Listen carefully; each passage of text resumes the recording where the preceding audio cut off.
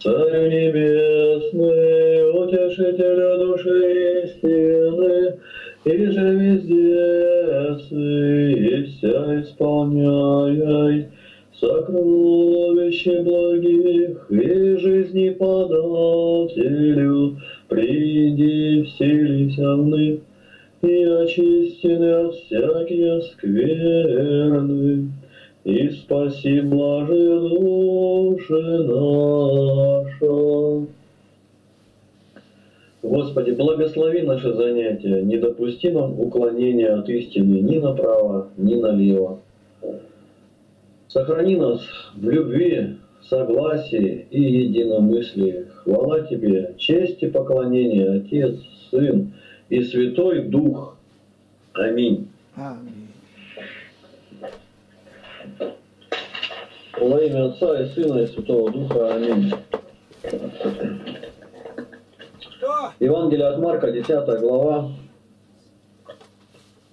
11 и 12 стихи. Сейчас пойдем, наверное, пока тут еще одеяло перехлопать, если надо много пыли. Надежда сильно донести их. В доме ученики его опять спросили его, а о том же он сказал им, кто разведется с женой своей и женится на другой, тот прелюбодействует от нее. Если жена разведется с мужем своим и выйдет за другого, прелюбодействует. Толкование. Так как и ученики соблазнялись касательно развода мужа и жены, то и они приступают к нему, Иисусу, и спрашивают о том же. Их образ мысли еще несовершенно был здрав. Господь отвечал им, кто отпустил жену свою и поимеет другую, тот становится прелюбодеем с этой второй женою. Также и жена, оставившая своего мужа и сочетавшаяся с другим, делается прелюбодейцею.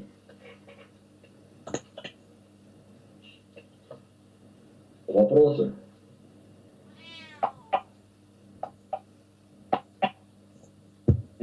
Борис, микрофон выключите, пожалуйста.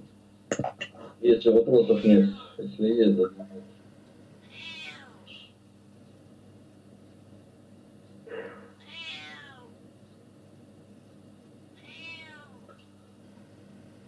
Так. Нет вопросов. Все понятно. Евангелие от Марка, 10 глава, с 13 по 16 стихи. Приносили к нему детей, чтобы он прикоснулся к ним. Ученики же не допускали приносящих. Увидев то, что Иисус вознегодовал и сказал им, «Пустите детей приходить ко мне, и не препятствуйте им, ибо таково Царствие Божие». Микрофоны проверьте еще раз. Людмила Куликова, выключите микрофон. Слышите меня? А где тут его выключить-то? Ну, обычно там под экраном четыре кнопки. Видеокамера, микрофон, плюсик, красная кнопка. Пас, выключи. А то сейчас я никто сам мешаю. Микрофон нажимаете, он перечеркнутый должен быть. Выключи мне так уже, а то я... Так, вот смотрите сейчас.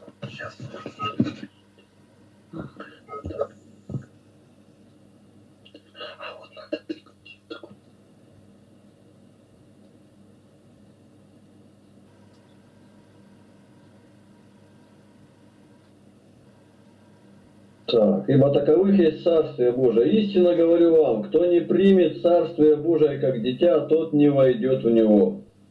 И обняв их, возложил руки на них и благословил их. Толкование. Велика была вера в народе, когда он одно возлож... э, возложение Христом рук принял как благословение для приводимых к нему детей. А ученики не допускали приводящих, думая, что это недостойно его. Научая учеников смиренно мудрствовать и отвергать мирское надмение, он принимает и обнимает детей. Симон показывает, что приемлет незлобивых, таковых, то есть стяжавших такое же незлобие, какое дети имеют по природе. Ибо дитя не завидует, не помнит зла, и, будучи наказуема матерью, не бежит от нее, но хотя бы и рубище она носила, предпочитает ее царицу.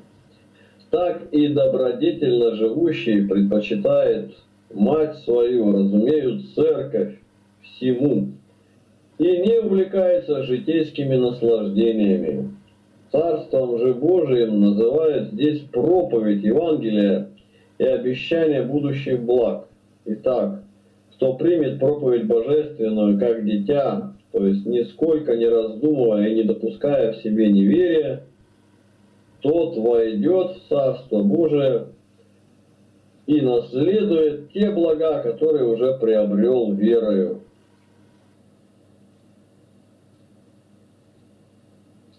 Комментарий Игнатия Лапкина на слова блаженного Феофилакта Царством же Божиим называет здесь проповедь.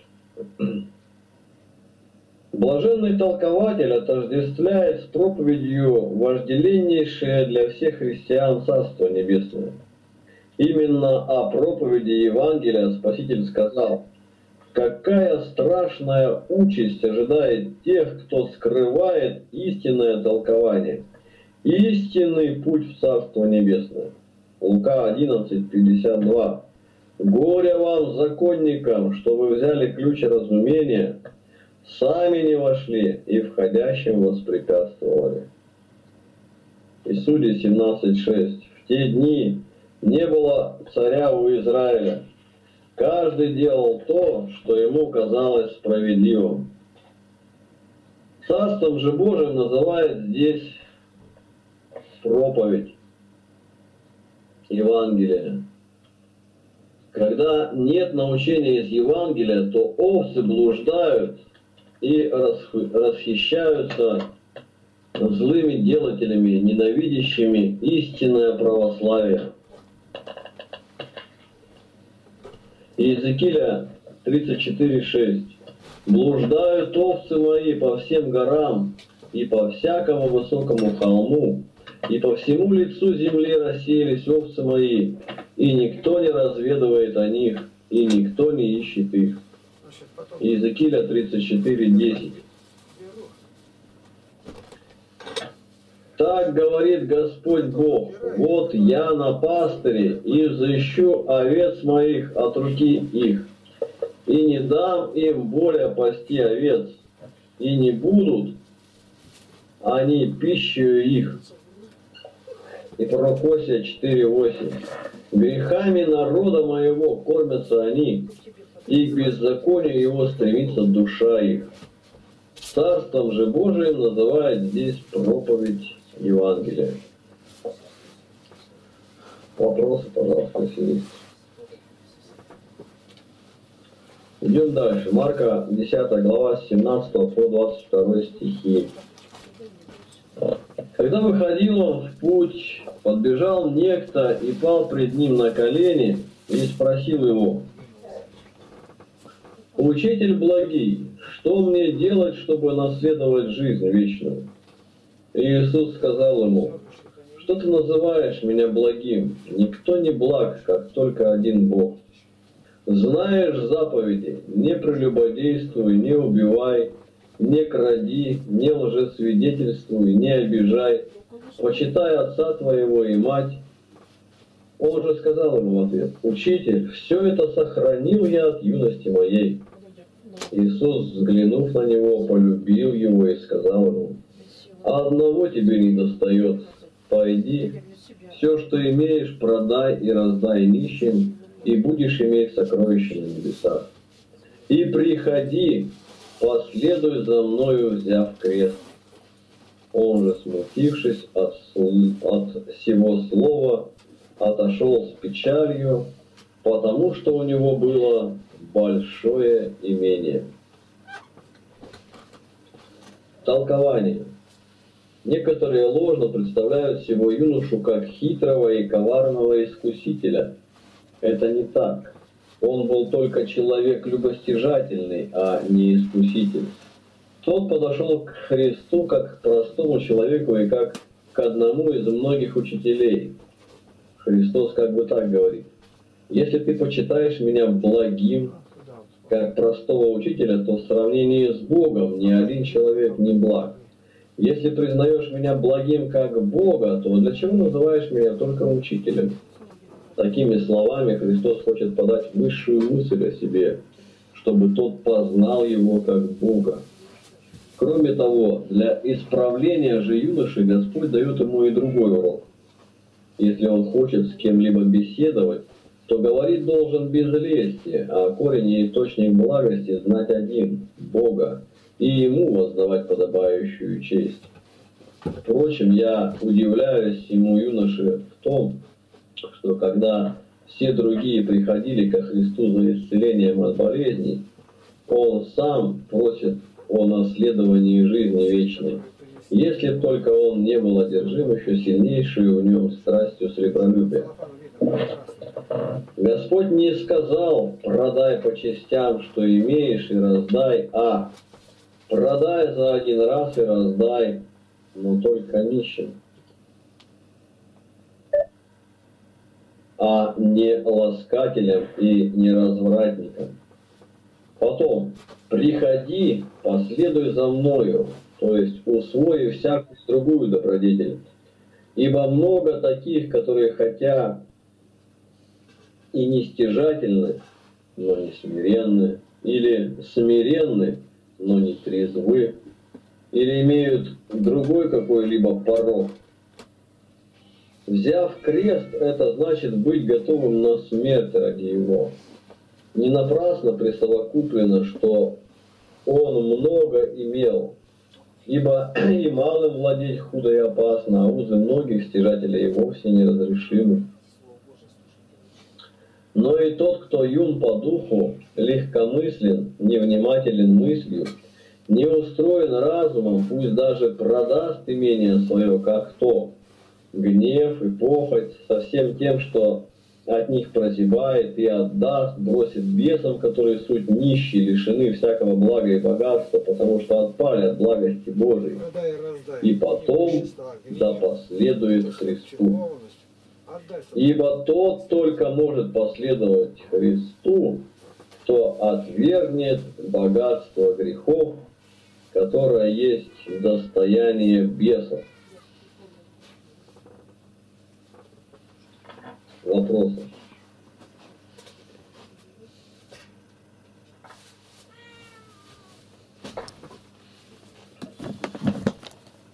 Евангелие от Марка, 10 глава, с 23 по 27 стихи.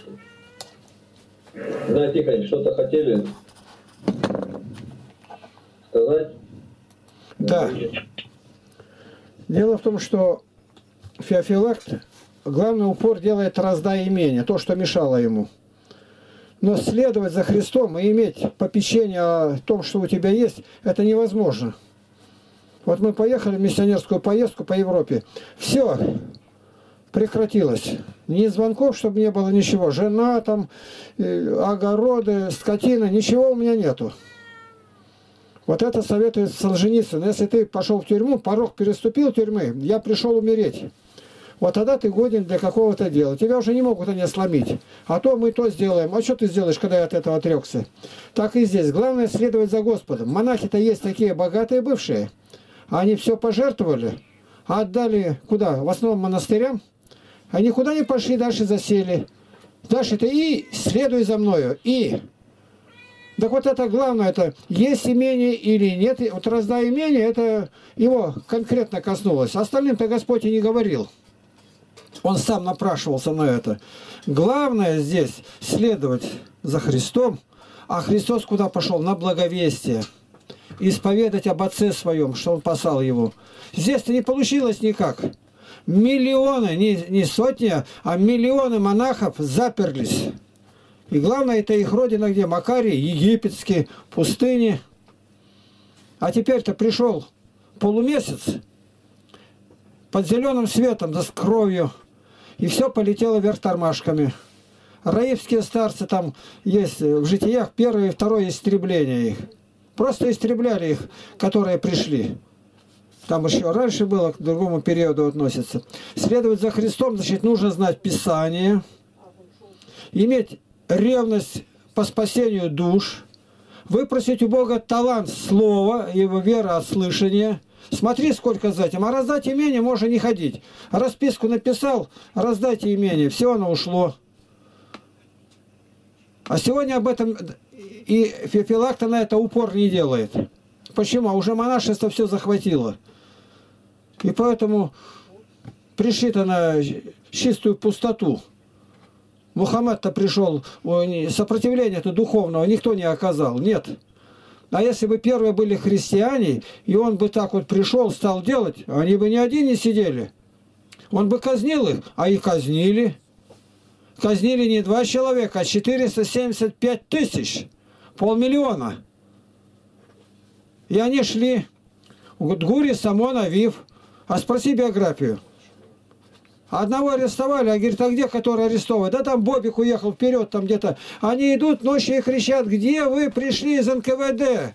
Где тут КГБ забирает людей? Мы вот они стоим.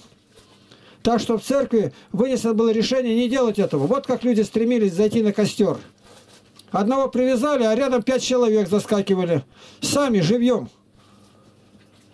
Потому что и это пошло не тем путем. А что нужно? Гонят в одном городе, спасайся в другом. Беги, не стоя, беги. Спасайся, чтобы проповедь понести. Ну а какие тут такие примеры могут быть? Примеров очень много. Конечно, главный пример наш Господь. Он уклонялся, когда гнали за ним. Написано. Иоанн Златоуст называет его великий беглец.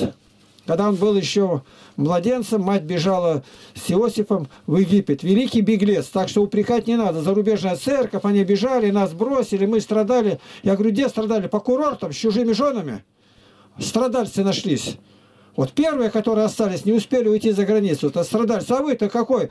Полностью КНКВД, КГБ, все это вам завладело-то. Сергиевская декларация. Тут надо все расставить по местам. И когда мы слышим «оставь все», и тут говорит не только телесное, но и духовное, что тобой обладало как имение, это гнев, раздражительность, похоть, все выбрось, раздай нищим. А кто нищий? Демоны, выбрось им, это его товар. И следуй за Господом. А куда? От селения к селению. Бесноватого исцелил. Я пойду с тобой. Не надо, иди домашним свидетельствуй. И он пошел, ничего не зная. Не домой пошел, а по городу. Он даже больше сделал, чем Господь сказал. Сегодня-то ничего этого нету. Вот батюшка сегодня позвонил мне по телефону и рассказывает. В Симферополе был, в Огне наш батюшка был. У ворот, говорит, сижу, выходит, говорит, как Голиаф диакон кто-то такой, говорит, нас, говорит, троих надо сложить вместе, чтобы он получился такой. И только подошел сразу, вы из Сибири? А я думаю, ну, наконец-то пригласят сейчас пообедать монахи. Из Сибири. Они из Барнаула? Из Барнаула. И Лапкина знаете, или к ним принадлежите? Батюшка, говорит, до того удивился. Симферополь, монах, монастырь. И что? Ереси проповедуете? Баптистам людей уводите? Батюшка, да наоборот все. Наоборот, он ушел и больше не пришел, и не встретился нигде, не могли найти его. А может быть и человека не было. Под видом Голиафа явился другой борец. Вот как нужно рассуждать. Это Писание к этому призывает. Где бы ты ни был. Вот фильм Еремия, он его бьет, Сафат, там, начальник, замолчать, бьет там рукояткой меча и локтем. Он падает, спина еще целая, поднимает глаза и так говорит Господь. Он снова бьет, он полуживой опять поднимает. Так говорит Господь. Вот нам пример. Отошел. Спаси Христос.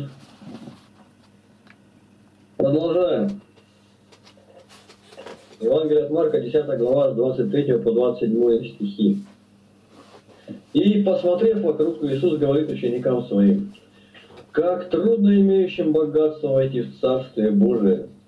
Ученики ужаснулись от слов его, но Иисус опять говорит им в ответ. Дети, как трудно надеющимся на богатство войти в Царствие Божие. Удобнее верблюду пройти сквозь игольные уши, нежели богатому войти в Царствие Божие. Они же чрезвычайно изумлялись и говорили между собой, кто же может спастись? Иисус, возрев на них, говорит, человеком это невозможно, но не Богу, ибо все возможно Богу.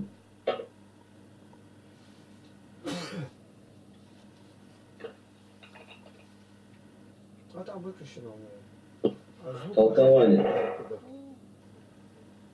Не богатство само по себе есть зло, а берегущие его злы и достойно осуждения, ибо должно не иметь его, то есть держать у себя, а употреблять на пользу. Оно потому и называется богатством, что назначено для полезного употребления, а не для сбережения.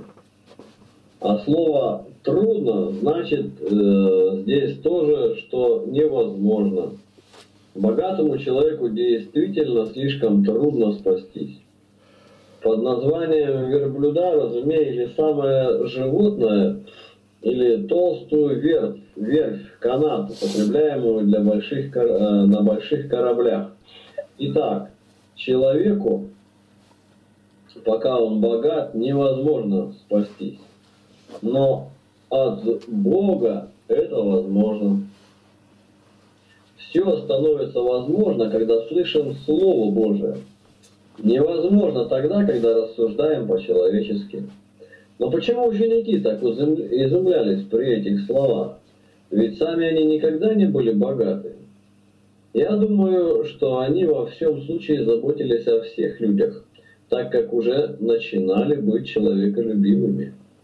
Грех, как немощь, невозможен для Бога. Но может ли Бог, говорят, говорят сделать и бывшее, как не, быв, не бывшее? На это скажем, Бог есть истина, а сделать бывшее, как бы не бывшее, есть ложь. Как же истина сделает ложь? Для этого ему надлежало бы сперва изменить свое существо. Говорить таким образом значило бы сказать, что Бог может не быть и Богом. Вопросы?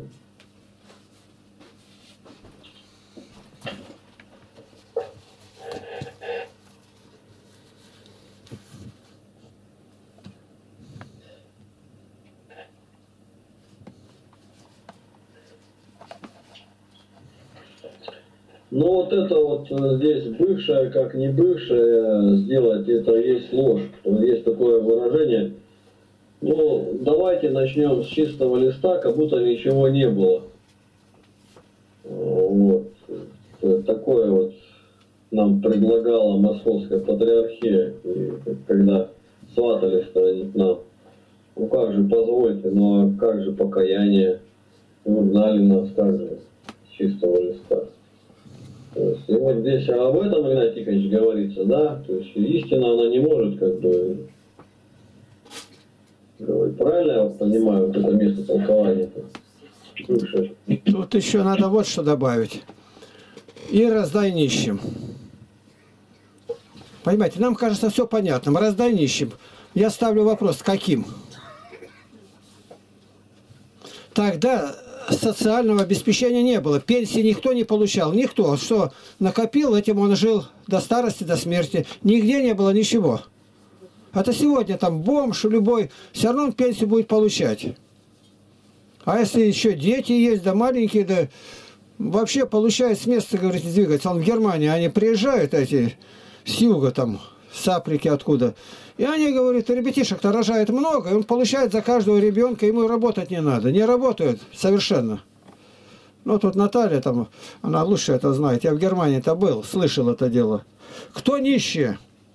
Вот именно те, которые нуждались, калеки, которые не могли работать. Об этом патриарх Геннадий говорит так. Ты лег спать. И под окнами вдруг слышишь вопль кричит «Есть хочу!» Ты лежишь на мягкой постели, а он около дома твоего прижался, под него вода подтекает. Он не евший второй день. Тут надо помочь. Уже не говорить, кто он, какой, как, чтобы он не умер с голоду. А вот дальше-то, если он сегодня, вот сейчас кормят их, специально столы такие открывают, ну там разные сектанты это делают, им деньги присылают. А они выпивают, приходит день, насобирает бутылок, там что угодно. Опять и завтра, и послезавтра здоровые 30-летние парни. Ну, их видно сразу, алкаши пропитые. Ему-то зачем давать? Тут житие святого Нифонта встретишь. Если такому даешь, ты отвечать будешь. А как?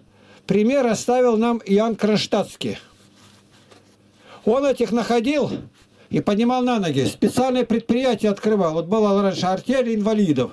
Слепые работали. Вот Иван Андреевич был, Волчатников, э, здесь молился. Он умер уже сейчас. И вот он работал, там что-то засобирали, они там то шили, они очень многое могут делать слепые-то. И он себя не считал э, каким-то на иждивение, руку не подавал, чтобы подали ему. Поэтому, когда мы где-то помогаем, хоть миллионер, миллиардер будь, скажи, к чему ты расположен? Какая специальность? Давай. У нас было такое, около церкви просит, у него костыли с собой, вот лежат рядом костыли. Вот я убегал, там он рассказывал нам это, и попал под поезд, и мать его не любила, выгнала Анатолий. Мы говорим, поехали по Теряевку. У нас есть там землянка такая, сейчас весна, май месяц, ты помогу тебе раскопать, там спахать, и ты посадишь, у тебя все будет уже осенью, ты не будешь... Ну, мы его пригласили, где живем, домой. Сестры там обстирали его, подшили, все, его не узнаешь. Договорились, завтра утром рано, рано, часов так в 6, мы отъезжаем отсюда, это остановка там Ядринцевская, около Покровского собора, и мы берем тебя в Потеряевку. Согласен? Согласен. Утром пришли мы на остановку, его нету. Теперь, когда мы его видим, где около церкви, он сразу голову отворачивает. Он просит, у него с собой целлофановый мешочек, мешок длинный такой, костыли настоящие, подмышки. Он деньги просит, мы узнали сколько, в день по три тысячи наколачивал. И он эти целлофан костыли, подмышку и пошел домой. Я рассказал об этом главному редактору нашей губернской газеты Шевчук Ольга Николаевна. Она говорит, мы ему помогать хотели, мы его говорили, нет, с этого положения трудно стронуть. Человека надо понять, а его именно голодом надо пробивать, ему давать нельзя. Нельзя. Он может работать. Почему я должен его кормить? Я эти деньги лучше направлю на другое дело. Вот сидят там, играют на чем-то, а им кидают. А он, бывает, поет нехорошее. И он видит видение, как только бросил там, ну тогда были деньги-то не бумажные, а железные. В ту же минуту эта монета оказалась в пригоршне у сатаны, в аду. И он это Нифон все видел. Вот этот вопрос надо ставить. У нас к истинному православию есть, и там написана статья о милостыне. Там все подробно написано.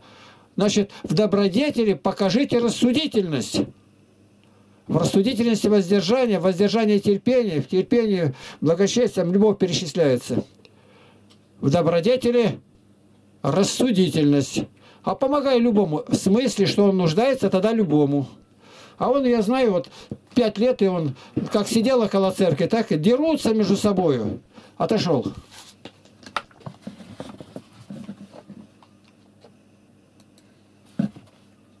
Евангелие от Марка, 10 глава, с 28 по 31 стихи. И начал Петр говорить ему, вот мы оставили все и последовали за тобою.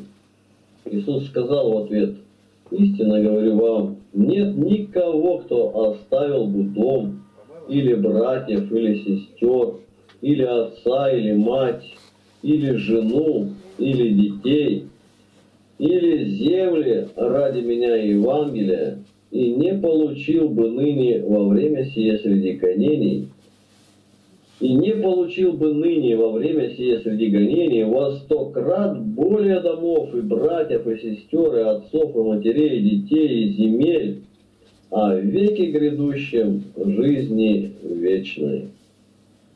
Многие же будут первые последними, и последние первыми. Толкование.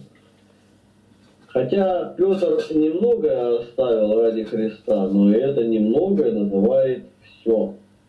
Видно, и немного имеет узы пристрастия, потому достоин ублажения и тот, кто оставляет немногое. Петр один спрашивал Христа, но Господь дает общий для всех ответ – всякий, кто оставит жену или матерь.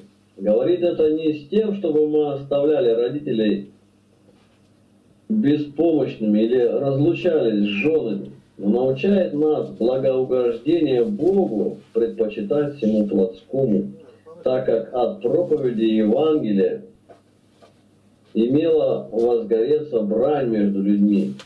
Так что дети должны были отрекаться от отцов, то Господь и говорит, кто оставит ради Евангелия плотское родство и вообще все плотское, тот и в семь веки получит все это во сто крат более, и в будущем жизнь вечную. Поэтому уже не получит ли Поэтому уже не получит ли жен во сто раз больше? Да, хотя проклятый Юлиан и глумился над этим. Ибо скажи мне, какую пользу приносит жена в хозяйстве мужа? Вообще, она заботится о пище и одежде для своего мужа, и в этом отношении вполне обеспечивает мужа. Посмотри же, как это было у апостолов. Сколько жен заботились о доставлении им одежды и пищи и служили им, так что сами они не имели попечения ни о чем, кроме слова и учения. Подобно тому, как апостолы имели многих отцов и матерей, какими были для них все любившие их и сердечно заботившиеся о них. Петр оставил один дом свой, а впоследствии имел как свои все домы учеников своих. Он и ныне по всей земле имеет светлые домы, храмы во имя Его. А еще важнее то, что святые наследовали все это в изгнании, то есть будучи гонимы за веру Христову и в жестоких страданиях. Но их страдания не были бесславием для них, ибо они, казавшиеся в нынешнем веке последними по причине претерпеваемых ими скорбей и гонений, будут в будущем веке первыми за свое крепкое упование на Бога. Фарисеи, бывшие первыми, стали последними, а те, которые оставили все и последовали Христу, сделались первыми. Вопросы. Марка 10, 32 по 34 стихи. Когда были они на пути, восходя в Иерусалим, Иисус шел впереди их, а они ужасались и, следуя за ним, были в страхе. Подозвав двенадцать, он опять начал им говорить о том, что будет с ним. «Вот мы восходим в Иерусалим, и Сын Человеческий предан будет первосвященникам и книжникам, и осудят его на смерть, и предадут его язычникам, и поругаются над ним, и будут бить его, и оплюют его, и убьют его, и в третий день воскреснет. Толкование. Для чего Иисус предсказывает ученикам, что с ним случится? Для укрепления духа их, чтобы они, предварительно услышав об этом, мужественно перенесли, когда это сбудется, и не были поражены внезапностью, а вместе с тем они должны были знать, что Он страждет по воле Своей, Ибо кто предвидел страдания, тот мог избежать их, а если не бежал, явно, что волею предает себя на страдания. Но так как, окрыть, но так как открыть о своем страдании следовали, следовало только ближайшим ученикам, то он и предваряет всех на пути, желая отделить учеников от народа. Еще же упреждением всех и поспешностью своей на пути Господь показывает и то, что Он поспешает к страданию и не, убег... и не убегает от смерти ради нашего спасения. Все, что высказывает Он всем случаях, хотя и прискорбно, но за все сие утешает тем, что в третий день воскреснет. Вопросы?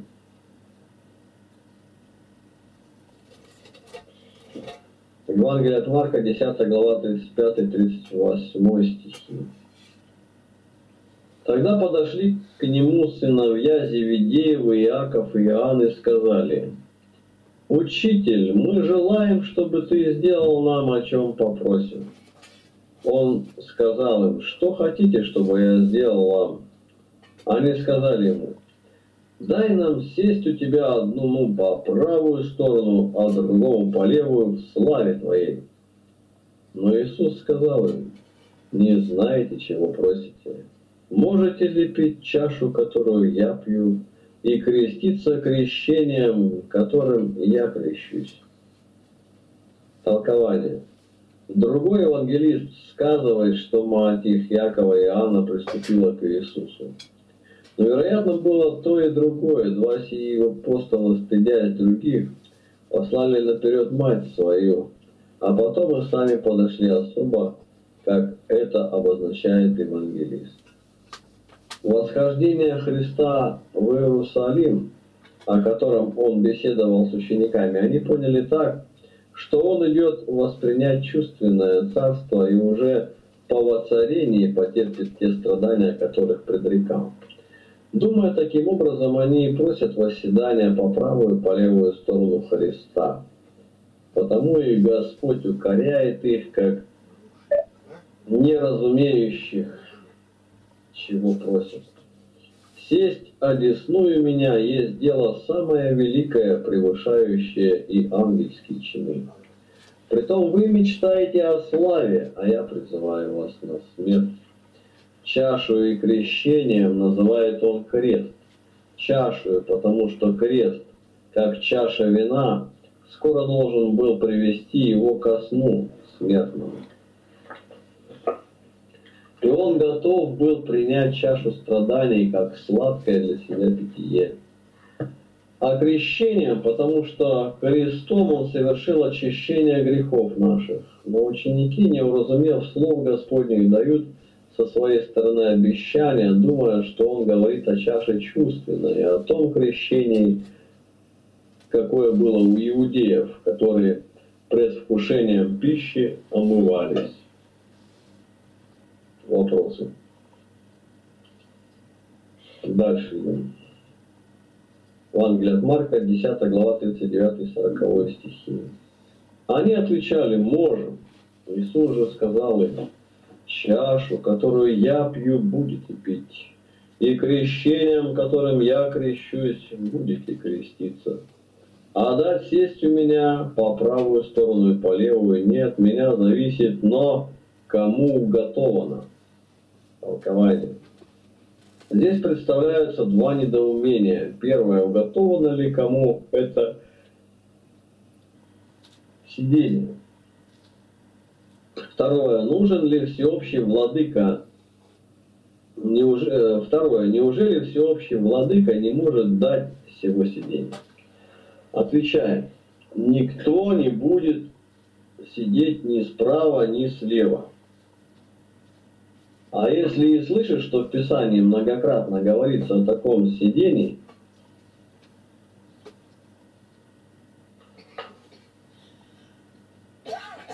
то разумей, не сидение в собственном смысле, но высшее достоинство. Мне, праведному судье, не свойственно дать вам такое достоинство по одной любви к вам, иначе я не был бы правосуден но такая почесть уготована только подвязающимся. Итак, вы, сыны Зеведеевы, можете быть и будете мучениками за него. Но если кто вместе с, мучи, с, му, с мученичеством будет иметь и всякую другую добродетель больше вас, то будет иметь преимущество пред вами вопросы.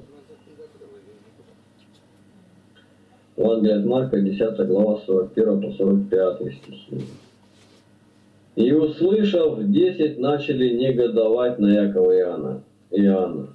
Иисус же, подозвав их, сказал им, «Вы знаете, что почитающиеся князьями народов господствуют над ними, и вельможи их властвуют ими. Но между вами да не будет так. А кто хочет быть большим между вами, да будет вам слугою. И кто хочет быть первым между вами, да будет всем рабом. Ибо и Сын Человеческий не для того пришел, чтобы Ему служили, но чтобы послужить и отдать душу свою для искупления многих. Толкование. Ученики, еще рассуждая по-человечески, впадали в зависть, поэтому и негодуют на двух апостолов.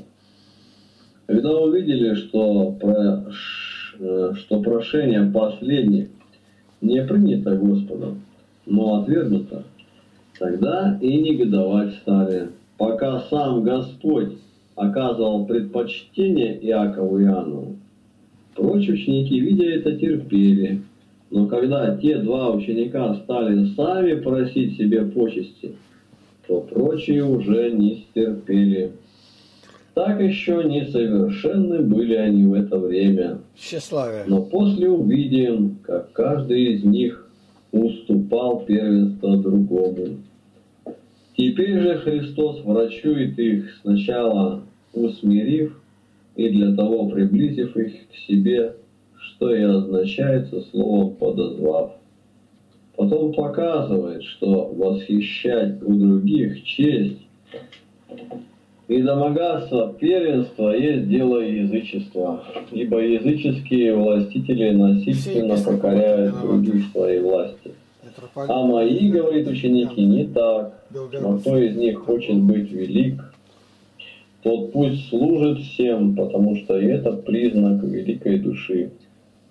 От всех терпеть и всем служить. На это есть и пример вблизи. На самом деле не только послужить, но и умереть за того, кому служишь. Что может быть выше и чудеснее всего? Вот такое служение и смирение Господа было высотою и славою как для Него самого, так и для всех. Ибо прежде во человечении Он был ведом одним ангелом, а соделавшись человеком и претерпев распятие, не только имеет ту славу небесную, но принял и другую, и над всею вселенную царствует. Вопросы?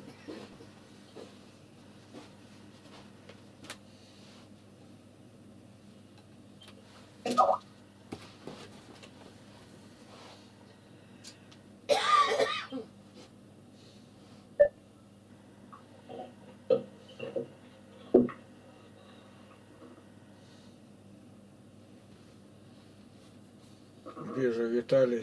Тут. 46 по, 46 по 52 стихи, 10 глава. Приходят в Иерихон. И когда выходил он из Иерихона с учениками своими и множеством народа, Вартимей, сын Тимеев, слепой, сидел в дороге, прося милостыни. Услышав, что это Иисус Назарей, он начал кричать и говорить, «Иисус, сын Давида, помилуй меня!» Многие заставляли его молчать, но он еще более стал кричать, «Сын Давидов, помилуй меня!» Иисус остановился и велел его позвать. Зовут слепого и говорят ему, «Не бойся, вставай, зовет тебя». Он сбросил с себя верхнюю одежду, встал и пришел к Иисусу. Отвечая ему, Иисус спросил, «Чего ты хочешь от меня?» Слепой сказал ему, «Учитель, чтобы мне прозреть». Иисус сказал ему, «Иди, вера твоя спасла тебя». И он тотчас прозрел и пошел за Иисусом по дороге. Толкование. Как народ чтит Иисуса, даже запрещает слепому кричать, как бы тут приходил какой-нибудь царь. А спрашивает Иисус слепого для того, чтобы не сказали, будто он дает не то, чего слепой хотел. И благорассудна была душа слепого, ибо по исцелении он не оставил Иисуса, но последовал за ним. Вопросы? Евангелие от Марка, 11 глава, с 1 по 6 стихи. Когда приблизились к Иерусалиму, к Вифагии и Вифании, в горе Илионской, Иисус посылает двух из учеников своих и говорит им, «Пойдите в селение, которое прямо пред вами. Входя в него, тотчас найдете привязанного молодого осла, на которого никто из людей не садился.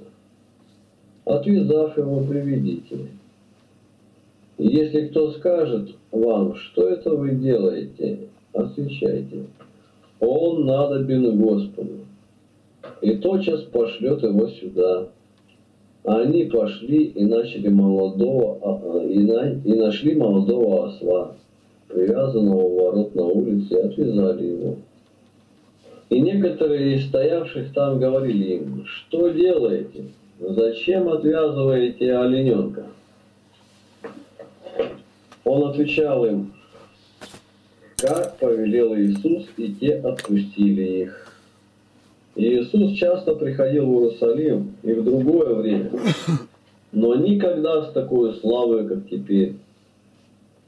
Прежде по причине зависти иудеев он скрывался, а теперь, так как наступило им самим определенное время, страдания идет открыто, дабы, если пожелают, уразумели славу Его и через исполнение на нем пророчеств познали истину.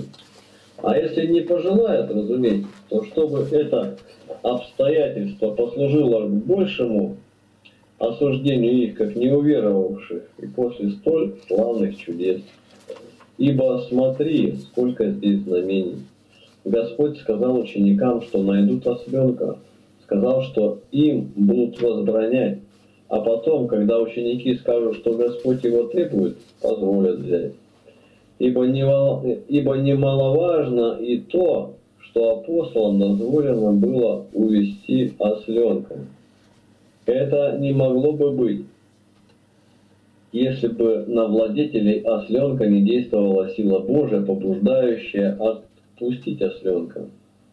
Они были люди бедные и рабочие – и надо знать, что Господь сделал это не напрасно, ибо прежде Он не требовал осленка, а пеший многократно обходил Галилею и Иудею.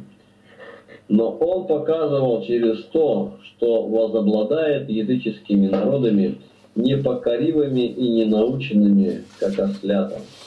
Они были привязаны грехами своими на распутии, то есть в жизни сей приворотах, то есть вне церкви. Но ученики разрешили их посредством крещения и веры, и они подъяли на ремена свои Господа, а апостолы возложили на них ризы свои, то есть все истинные правила добродетели.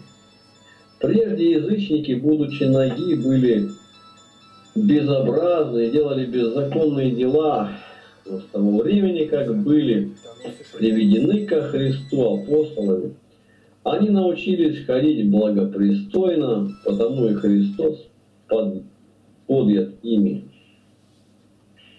Кто же были владетели осленка, возбранявшие взять его апостолом? Без сомнения, бесы. Однако апостолы были сильнее их. Вопросы. Евангелие от Марка, 11 глава, 7 по 10 стихи. «И привели осленка к Иисусу и возложили на него одежды свои. Иисус сел на него. Многие же постилали одежды свои по дороге, а другие резали ветви с дерев и постилали по дороге. И предшествовавшие и сопровождавшие восклицали. Асанна, благословен грядущий во имя Господне. Благословенно грядущее во имя Господа Царство Отца нашего Давида, Асанна Вышних. Толкование. Пока простой народ бывает не испорчен, он познает полезное. Вот почему теперь они воздают почести Иисусу, каждый по силе своей. Но что говорили они, прославляя Его? Настоящую песнь они заимствовали у Давида. Слово же «асана», по мнению, по мнению одних, значит спасение, а по другим – песнь. На первое, но первое мнение лучше, ибо в 117-м псалме сказано «О Господи, спаси же!» А по-еврейски написано «Асана». Царством же Давида они называли Царство Христово. Во-первых, потому что Христос происходил от семени Давидова. Во-вторых, потому что Давид значит сильный рукою. А кто другой так силен рукою, как Господь, руки которого совершили столь дивные дела. Но постелим и мы одежды свои, то есть плоть свою, ибо плоть есть одежда души. Покорим ее Господу. Устелим путь нашей жизни, срезывая с дерев ветви, то есть подражая житию святых. Ибо святые суть как бы дерева, с которых срезывают ветви, с которых срезывает ветви подражающие добродетелей но дела наши и предшествующие, и последующие да будут славу Божию. Ибо ныне в предшествующей жизни показали доброе начало, напротив, последующая жизнь их не такова была и служила не к славе Божией. Вопросы?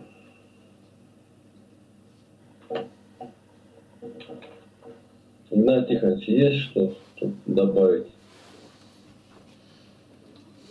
Ну-ка, да.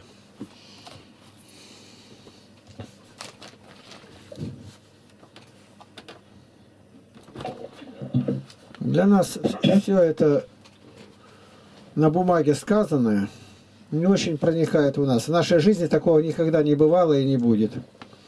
Поэтому надо войти в эту обстановку воображением. Вот они, ученики, идут. Он их приближает к себе. Почему? Семя-то за раздор, если по-человечески рассуждать, посеял Господь, а этого быть не может, в нем греха нет. Но это терпимо было, как он говорит, до тех пор, пока они сами не стали домогаться этого места. А, вот в чем дело. Плох тот солдат, который не мечтает стать генералом, как говорят. А вот теперь-то и вопрос. Кто сегодня более всего заражен этим тщеславием? Это тщеславие. Тут оно вышло в неприкрытом виде, верхом на коне. Самое тщеславное общество – это епископат. Об этом Ян Затаус говорит, и все святые отцы. У меня случилось однажды, у нас был одно время епископ, а когда его нет, то мы служим вот это так называемое апостольское служение. Виктор Николаевич, там часть что-то не считается, а остальное, ну, прям поэтому, по вечерне, утром там считать. А я епископу и говорю, вот сейчас вы приходите, сразу вас встречают, репиды, там, дикирии, э, несут вам все это. А вы можете так, вот сейчас прийти, ну, не в цивильном костюме, хотя бы там монашеском, ни ризы, ничего не надевать. И стать сзади-то потихоньку-то, и постоять, и посмотреть, как служба-то идет-то. Ну, зачем это, что вокруг вас такая толкотня-то идет? Все, пуговички застегивают, да расческу дают, да руки ему мыть, как будто он пришел откуда-то и руки не помыл. Как мне полковник один позвонил, говорит, а что, говорит, он патриарха, говорит, застегивает, но сам застегивать не умеет. Ну, людям это непонятно. Зачем это нужно? Они на коленочке становятся, ну, на одно колено, и нижние пуговки за, застегивают ему. Такой порядок, чтобы они раком не становились. Вот они тщеславятся. Я говорю, вы можете стать позади всех и молча стоять и смотреть, как идет служба, да и помолиться-то. Ну, вокруг тебя, когда колготятся, священники говорят, молитвы-то никакой нету там строгий регламент, то это не так, то это не так. Архиерей недоволен, прям сердится. А эти трясутся. Я говорю, да ты мой какой молился-то? Тут того и гляди, полбу даст тебе. Не вовремя подал, не так повернулся, не, не вовремя вышел, сказал не так. Я говорю, стали спокойно, один из нас. Я не ожидал от него такого. Он говорит, вопросов нету, я и стану сегодня. Приехал к нам епископ, а мы его э, пригласили постоять. Ничего тут в этом нету. Ну, а когда он уже так сказал, тут мы говорим, да ладно уже, не надо, давайте. И он, правда, провел богослужение, ну, без этой помпезности. Просто так. Нам это понятно и близко. И вот теперь говорит, по праву и по леву. Это они решают. А простеца-то, который кузнец, об этом мы считаем у Серахова. Без них город не настроится, не застроится город-то. Ни каменщика, ни плотника, ни стекольщика. Ну, раньше не было это. А как город строиться будут? Но их не приглашают на решения судебные какие-то, то другое. А без них и город не построится. Так без мирян как назвать, мирян это неправильно. Мы все верующие, святое общество. Сказать так, простолюдин, может быть, даже, но мирян совсем не годится. С нас-то тоже спрос будет. Если вот этой низ, нижней ступени-то не будет, на которой все труженики стоят-то, а он один-то и литургии совершать не может, когда никого нету. Это очень просто воевать-то с, этой, с этим тщеславием. А этот э, работяга пришел там с завода, токарь какой, слесарь, он стоит только, чтобы не упасть. И все, стоит, ничего никто не понимает. Вот тебе и лево, и право. У меня газета тут поступает, я читаю, гляжу, они прям сощатся газеты этим тщеславием. А вот столько-то выступает губернатор, его там хвалит, там, ну, царство Божие на землю принесли. А он идет благовествует, как Павел? Да нет, конечно. Он шагу нести без лимузина не шагнет. Да ни одна машина в гараже еще стоит. Ну вот сегодня как это рассмотрим, и мы поймем тогда, вот оно куда ведет все. Нас от этого Господь избавил, скажем так. Ну, высокого-то нет, хотя и на низу может там бороться. И корову будается, кому ближе быть, и овечки бьются. И все-таки благодари Бога, что у тебя никакой должности нету. А с кого спрос больше-то? С мужчины, конечно. Женщина-то легко не так сделал, а муж рядом, он подскажет. А у него глава-то Христос. Ему-то выпол... вы... Вы... вызвать Христа на разговор-то надо молиться, да и может быть и не только дневная, но ночная молитва. Ты вот дальше ты начинаешь, когда рассуждать, и видишь, жена в более привилегированном положении находится. Не так сразу ее раз подсказал, и она говорит, а муж рядом видит, не так он подскажет. А мне кто подскажет? Это только на молитве. А живой связи с Богом-то в подавляющем большинстве даже неизвестно людям. Вот теперь и разберись, кому больше спасаться. Хотя Соломон говорит, из мужчин я нашел одного на тысячу, а из женщин вообще не нашел ни одной, которая бы соответствовала параметрам, когда войти надо. Вот так. И вот мы говорим, вот они теперь пришли, кричали Асанна. Но Асанна можно кричать. А так не просто Асанна кричали, Асанна Вышних. И благословен гряды во имя Господня. А что означает Вышний? Это по-нашему сказать «спасай», а то «Господи, помилуй нас с небес». Вот дословно уже сказать. «Господи, помоги нам небесной силой Твоей». Это так вот, ну, более приближенное уже, чтобы все вошло в норму. Вот куда надо обращаться. Ничего нету, все отступили. И вдруг Господь показывает. Я рассказываю такие истории, которые Бог помогает. У нас тут на днях такое было. У одной сестры родители померли.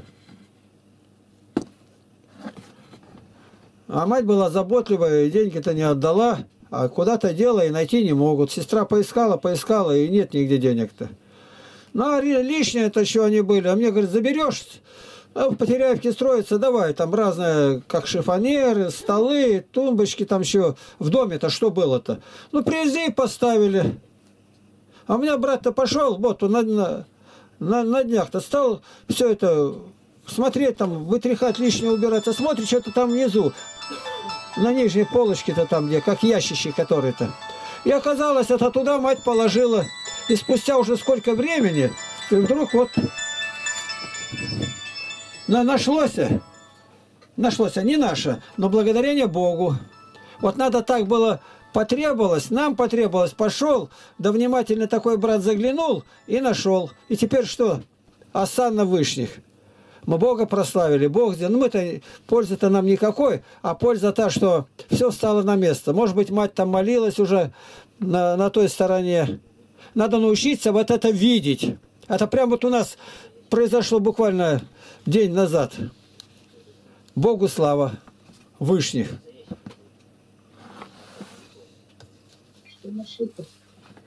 Что нашли-то, Игнатий Тихонович?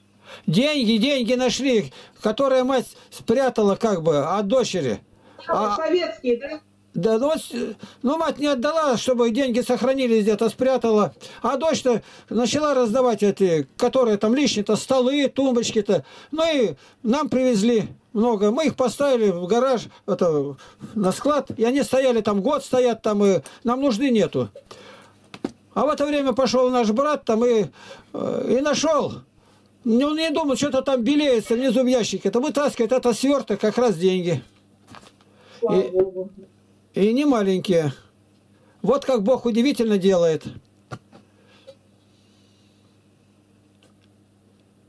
Ну, сразу отнесли, там сестра, конечно, возрадовалась, молилась, и все нашлось.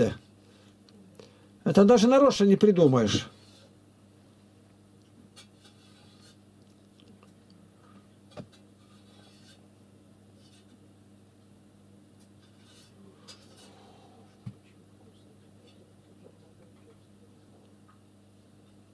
У вас тут новые люди, Сергей. Ты скажи им, что женщины, девушка она или кто-то, без головного убора молиться не может. Надо, чтобы в платках были. Надевайте платки. Посмотрите пример на мусульманах. Вы ни одной не увидите, чтобы она была не покрытая. У нее хиджаб. Так она не христианка. А мы христиане. Жена подстыжает голову, то есть бесстыжая. Вот это уже нам не нравится. Это уже Писание наше говорит. Женщина должна быть все время в платке, потому что в любой момент тебе надо помолиться. Что без платка тебя никто не видел. Я у казахов делал печку, я печник, и казашка кое-что мне рассказывала. Говорит, у нас так, чтобы волосы твои ни луна, ни солнце не видели.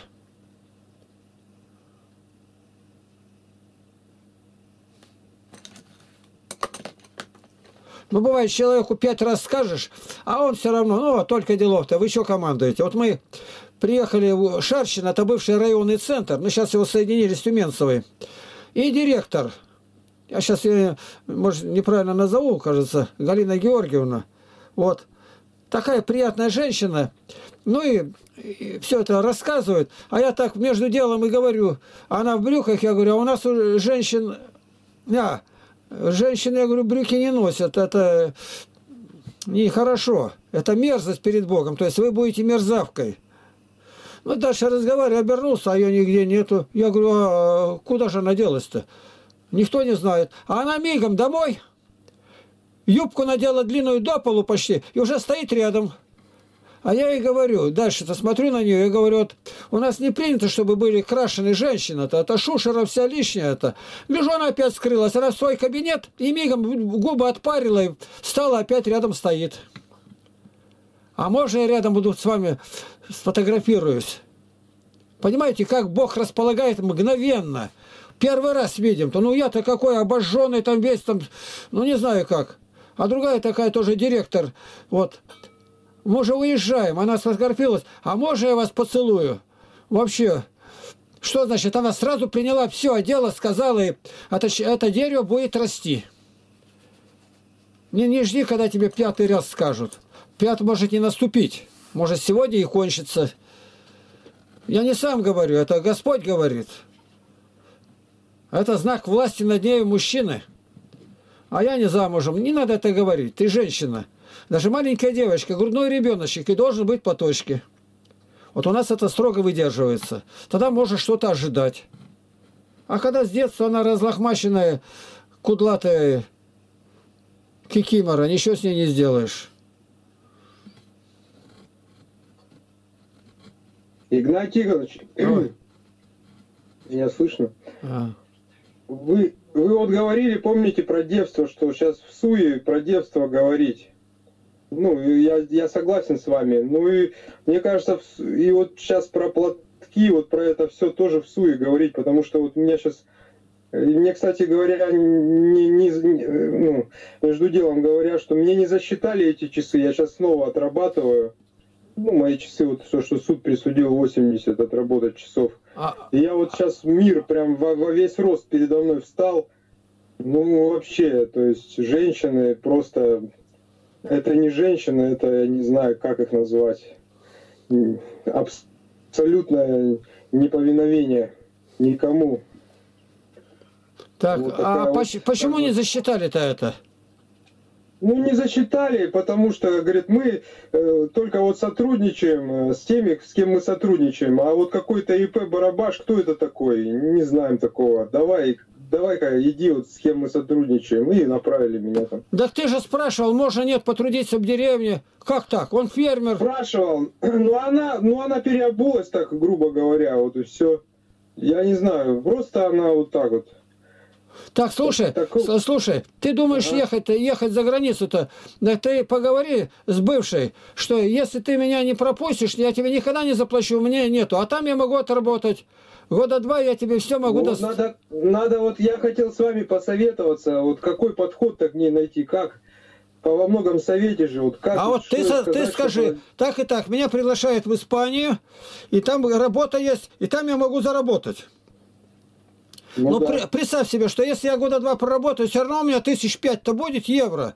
А пять тысяч это 350 тысяч на наши тугрики. И вот этим ты можешь ее заинтересовать. Потому что ты-то ей тут давать-то нечего. Ты, она, если благоразумная женщина, она должна понять это. Да, благоразумная женщина. Ну дай бог. Я, конечно, уже ну, ведь, Виталий, тебе надо сейчас себе ничего не говорить лишнего, не надо. Тебе надо, чтобы она смирилась, написала там документ, тебя чтобы выпустили. И дальше будь честен в словах. Заработал элементы на ну, сына. Да, она тратит куда попало, это уже не твоего ума. Да, у меня сегодня крутится фраза весь день. Безумен и нечестив, содержащий прелюбодейку. Ну, вот, в общем, я тебе сказал, так, ты старайся я ее понял, не... Игнатий. Никак не трогай ее, только молись. Молись, чтобы она тебя выпустила. Иначе тебе тормознут на границе. Не, да, да, я буду этот вопрос решать, Игнатьевич. Он это вот такой вопрос, который без него никак.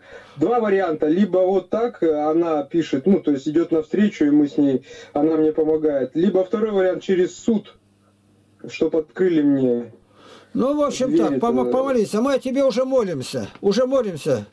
Да, спаси Христос, Игнатьевич. Да. Ну вот, то есть такая картина прям. Ну хотя они благодарят, конечно, ваша система работает, Игнатий Тихонович. То есть трудись, как, как будто так трудись, чтобы тебя еще раз пригласили. То да. есть я-то тружусь сейчас бесплатно, никто мне ничего не платит, но я как бы вы меня научили, я вот тружусь, и все радуются, все благодарят, вообще так интересно. Ну ты видишь, как я тебя спрашиваю сначала, сколько тебе заплатил батюшка Барабаш, и ты говоришь, никак не ожидал. В разы больше заплатили, чем ты думал. И ты сумел туда и сюда послать, да еще и десятину заплатил.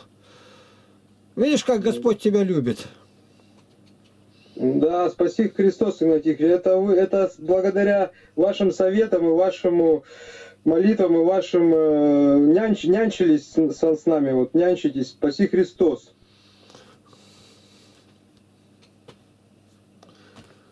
Ну, в общем, так, вопросы сейчас начинаются. Давай, Сергей, побуждай к вопросам.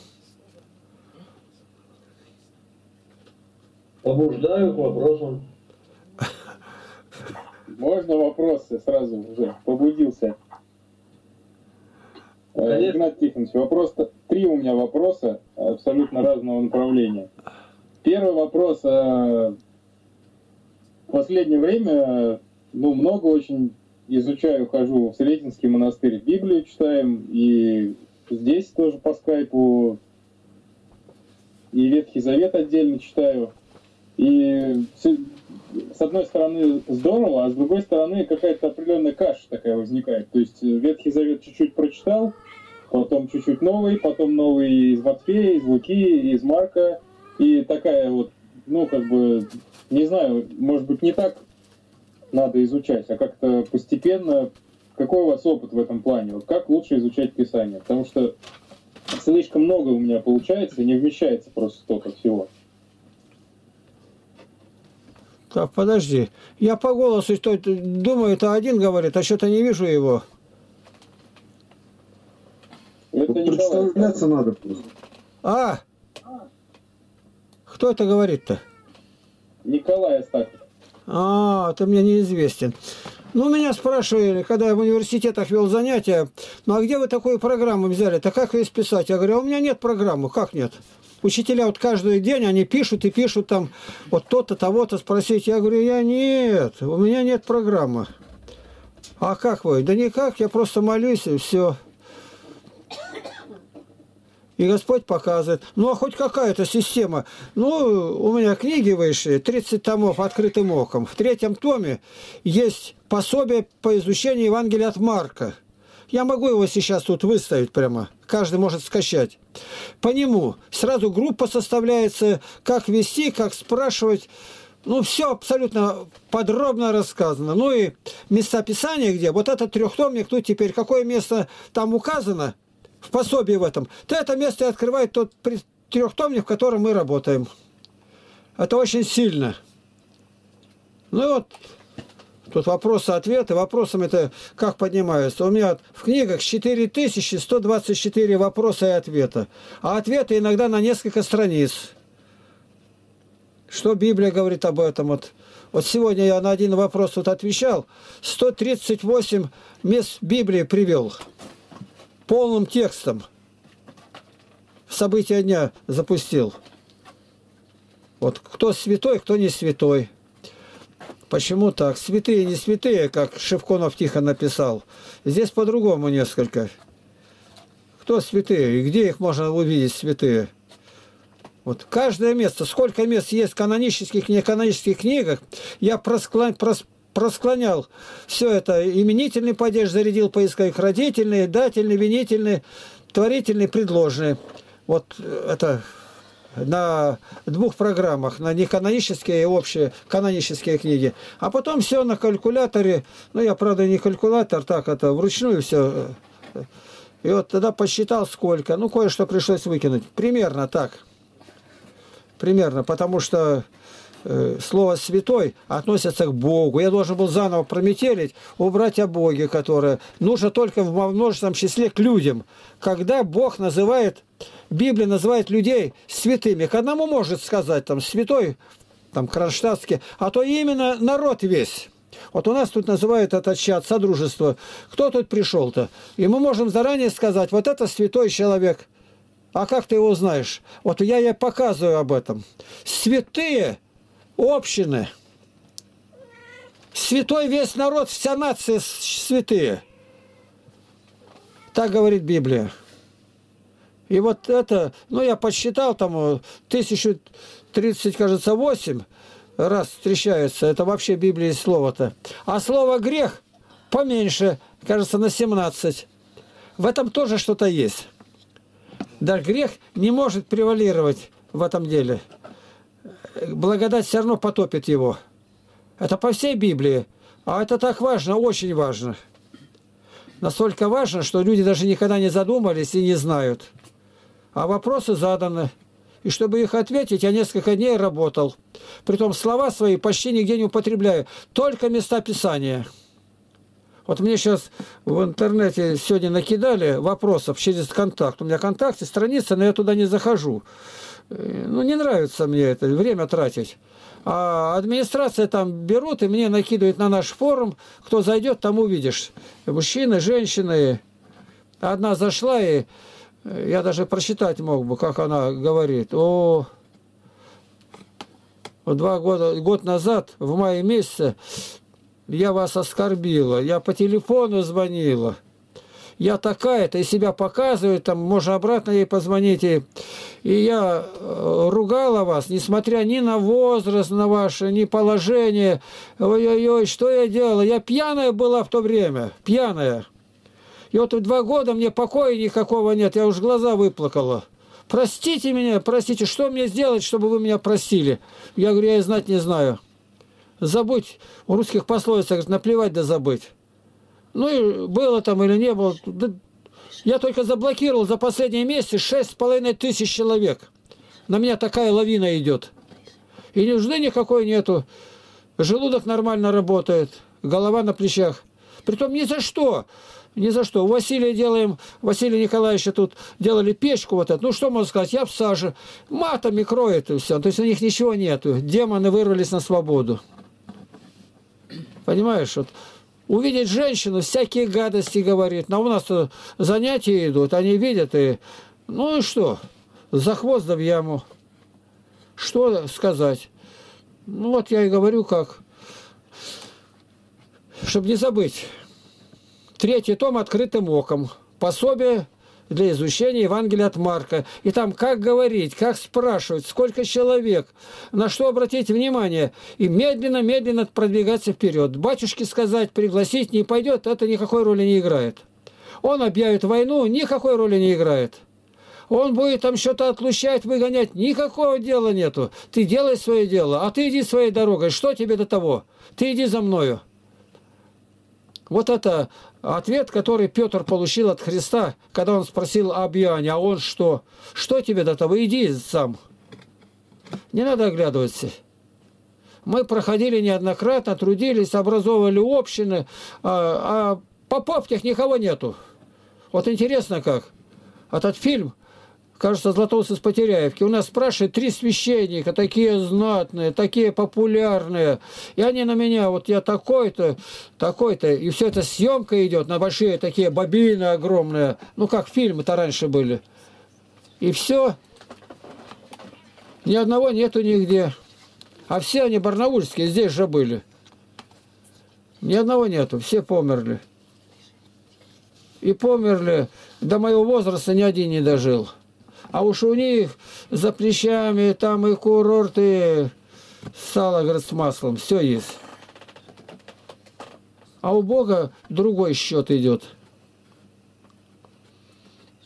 Тоже к слову сказать.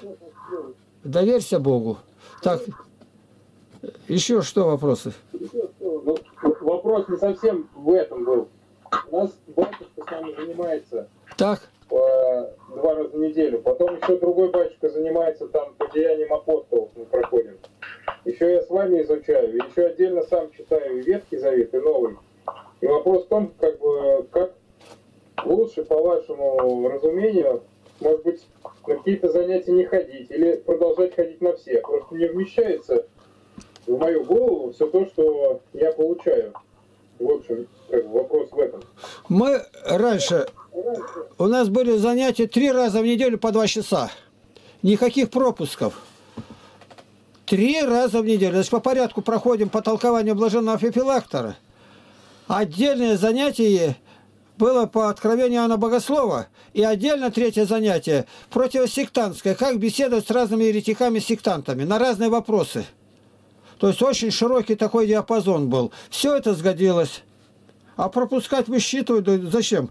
Ну, может быть, работу не позволяет. Тогда конспекты другие бери. Какие люди там есть. Тут это на- начал, а если два человека, уже хорошо, два. Не один, а два, уже хорошо. А дальше начинаешь работать, приглашать на занятия. Надо знать, где, чтобы недалеко было ездить. Вот обычно как-то делают, там, э, позанимаются, а потом чай пить, там, то другое. У нас никогда этого не было. Мы заранее, выходя из дома, уже были сытые. Ни на что не тратили время. У нас никогда этого не было. А в Москву приезжали, там собирались, в первый же день люди собирались. Уже мы раз приехали, звонили, и комната, где останавливались, вся набитая будет. Это очень интересно. Я говорю, вы только не думайте что-то такое, ну, ценное. Обыкновенную картошку в мундире сварите, если уж так никак. А они засмеялись, говорят, так у нас картошка, это дефицит как раз. Ой-ой-ой. Картошки даже нету. Вот я додал, даю вам программу. Вот надо сейчас не забыть, как только закончим, я сразу тут же выставлю. Файл прилеплю.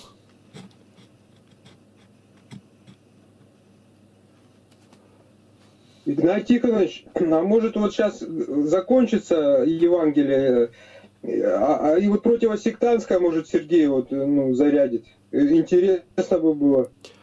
Не знаю. Не знаю. Тут вопросы разные будут. О иконопочитании, о священстве, о церкви. Это второй том открытым оком.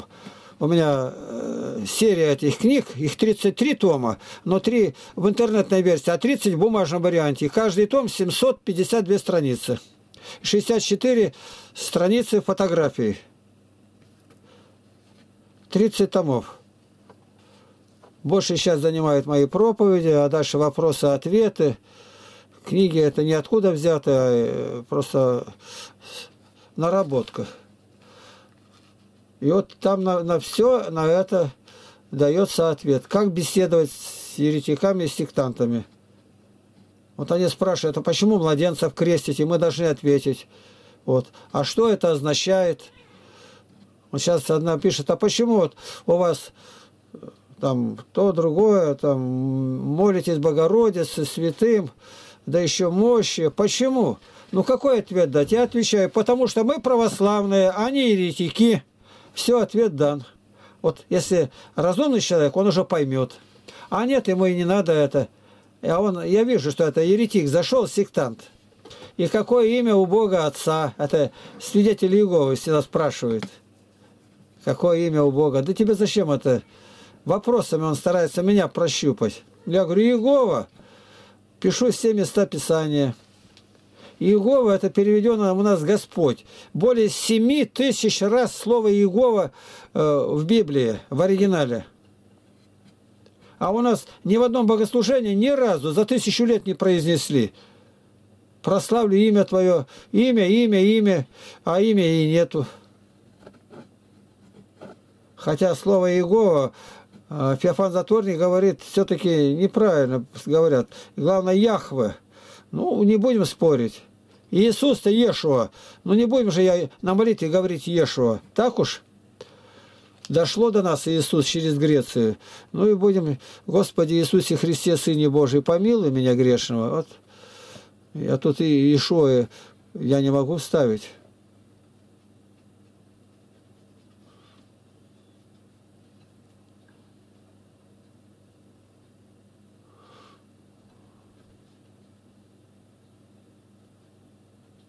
Мир братья.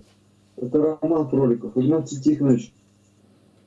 Вот вопрос у меня по поводу, э, вот когда говорят женское поведение, там, вот у меня как бы такой диссонанс в сознании, что когда говорят тоже любители там животных, правильно говорят, что вот называют там собакой обзывают, разве плохое животное, зачем называют, как бы, ну, подразумевают, что это плохо.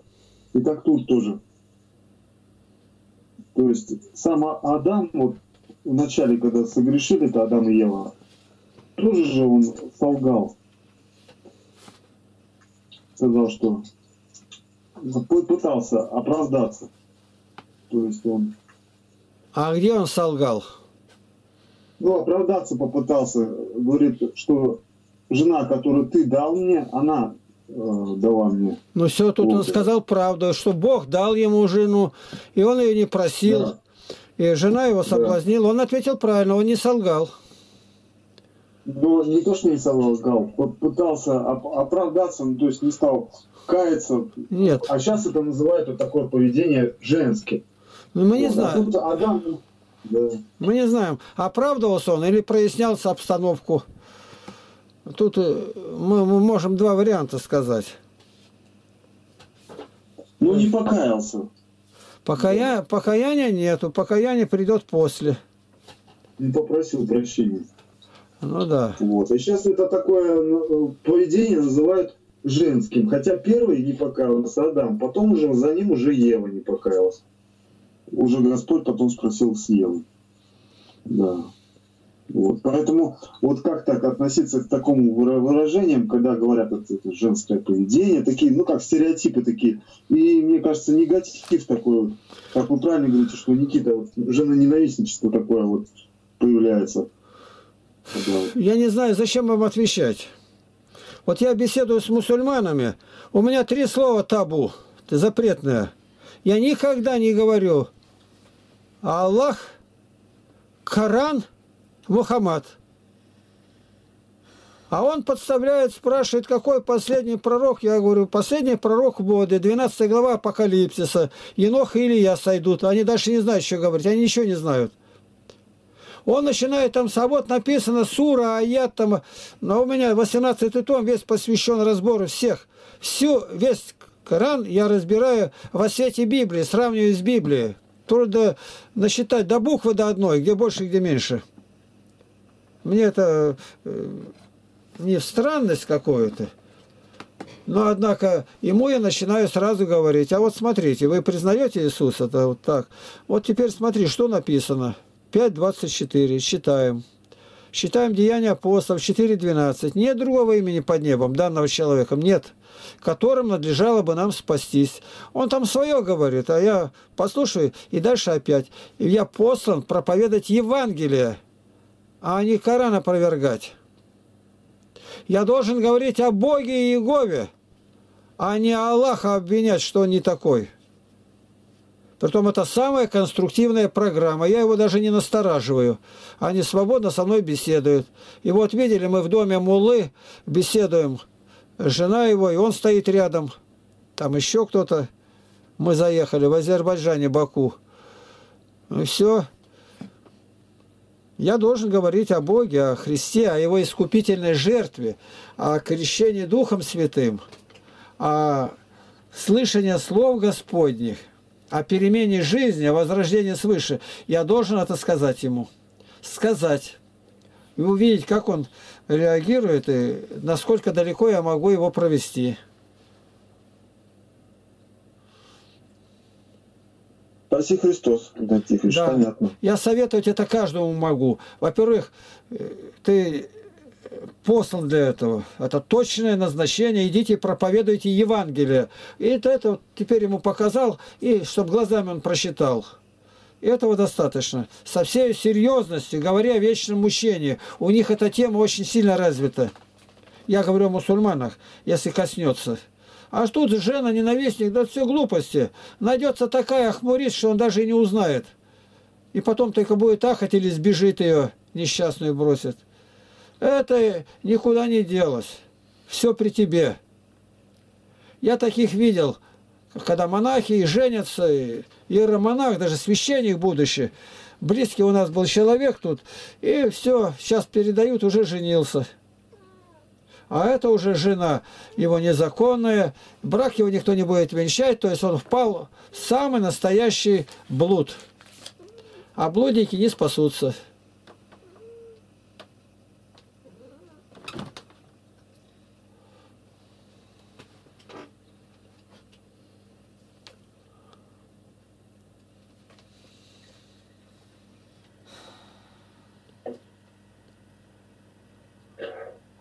Помолимся.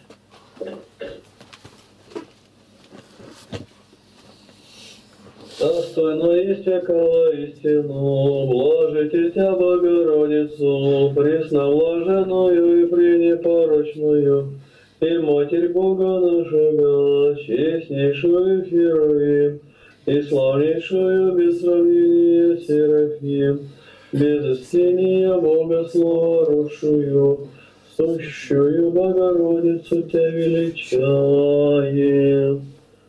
Молитесь, Игнатий. Господи Боже, любящий наш Отец Небесный, во имя Господа нашего Иисуса Христа просим, прими нашу молитву благодарения за этот прекрасный вечер, за Слово Твое, что труженики Твои сохранили Слово, перевели на понятный родной язык. Слава Тебе! Господи, эти слова, какие мы слышали из Евангелия, закрепи в нашем сердце всякое тщеславие, гнев, что неугодно Тебе, истреби из нас. Соделай нас воистину святыми Твоими, избранными Твоими.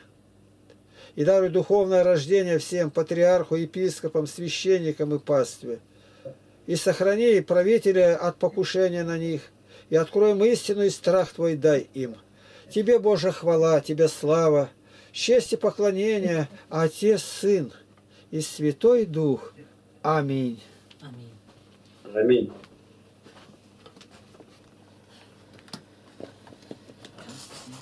Аминь. Аминь. Не, хват... Аминь. Не хватает Аминь. Виктора песнопения в конце.